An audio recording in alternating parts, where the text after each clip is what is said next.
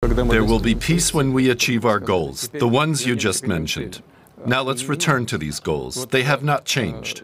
I'll remind you of what we talked about the denazification of Ukraine, its demilitarization, its neutral status. Well, Vladimir Putin there saying there will be no peace in Ukraine until Russia is good and ready. Uh, the Russian president was taking questions from the public and from journalists at his end of the year press conference in Moscow. Mr. Putin also said Russia currently had enough fighters and there was no need for another wave of mobilization. The Russian president, who's running for re election in March, uh, cancelled last year's press conference amid uh, Russia's full scale invasion of Ukraine. So let's take a closer look at uh, what we saw and heard today with Konstantin Eggert, DW's Russia analyst. Uh, welcome back, Konstantin. Um, let's start with your assessment of the state of Mr. Putin's leadership uh, right now. Has he paid any political price for the war in Ukraine? Look, in a country where there is no politics, it's very difficult to pay a political price. Uh, so far, it looks as Mr. Putin is in full control of the state bureaucracy, which in turn is in full control of the country. There is no visible opposition. There is no free media left in the country.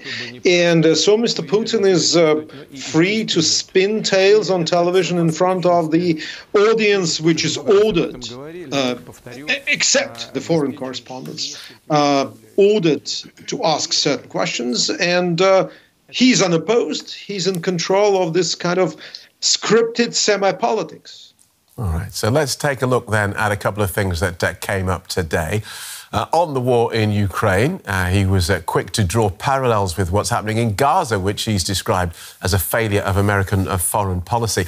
Just how might Vladimir Putin hope to use the, the, the, uh, the war in Gaza to bolster Russia's international standing?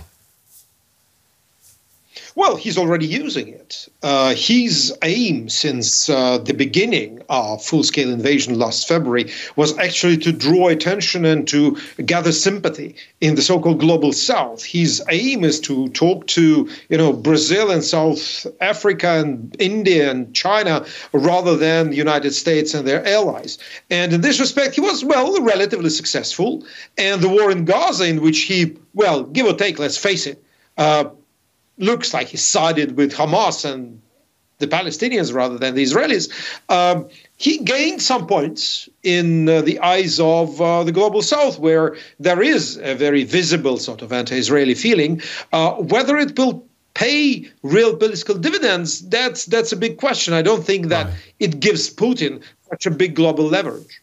And with the United States uh, preoccupied with Gaza and Ukraine, of course, perhaps that leaves the stage set for some new kids on the world block. Just take a look.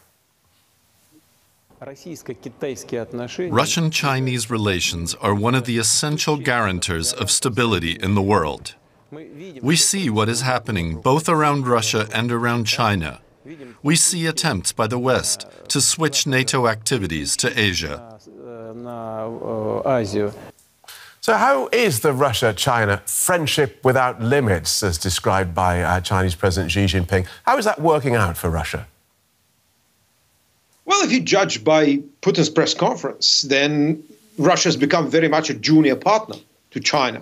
And if you look at this, the, Putin's rhetoric, and I feel I've been to these press conferences when I worked in Moscow many times. I mean, he called Xi Jinping a friend twice that is something that's very unusual for Putin. And to me, it looks like, uh, well, I wouldn't say sycophancy, but trying to be nice without any big reason to do that, apart from the fact that China is actually Russia's main mainstay in the world of global economy.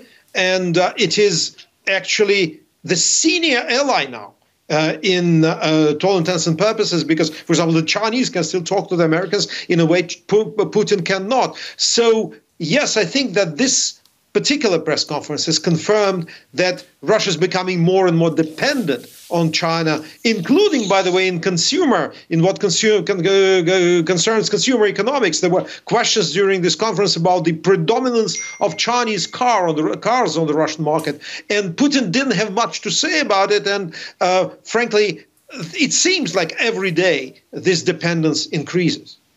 And let's uh, finish uh, on Mr. Putin on relations with the West. As for normalizing relations with the West, this does not only depend on us. We did not spoil our relations. They did. They were constantly trying to push us into the background and neglect our interests. Uh, Konstantin, I want you to look into your crystal ball uh, in just a moment because I'm thinking that it's not even 20 years since NATO and Russia were a lot friendlier, even establishing that the, the NATO-Russia Council uh, back in the day to work on joint security issues. So, looking ahead, how do you see Russia's relations with the West in, say, 10 years? Well, I don't have a crystal ball, Phil, but frankly, let me put it like that. As long as Putin is in power, as long as he's in the Kremlin, there is going to be no change. Because for him, and he made it very clear, this is not just about Ukraine, it's about Russia standing up for what he called its sovereignty against the West. It's another question whether this political consensus, this peace and quiet in Russia that Putin imagines exists, will continue. Because uh, on, in this video clip that you showed, uh, on the background, we've seen text messages coming up in Russian uh, on screens. These are uncensored. And one of them read, Mr. Putin, when will your Russia, the Russia of your television, become a reality. This is not the Russia we see. So maybe there are tensions which once will explode and we will not be ready for that. But so far, he's in control and he's ready for his quote unquote war against the West. Okay, thanks for that, Konstantin, uh, DW Russia analyst uh, Konstantin Eggert. Thank you.